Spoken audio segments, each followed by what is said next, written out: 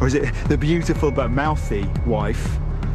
Or is it the evil, manipulative old shrew of a mother-in-law? You tell me, Myra. What about my children? They're gonna thank me for getting rid of you. And now maybe they can get on with their lives.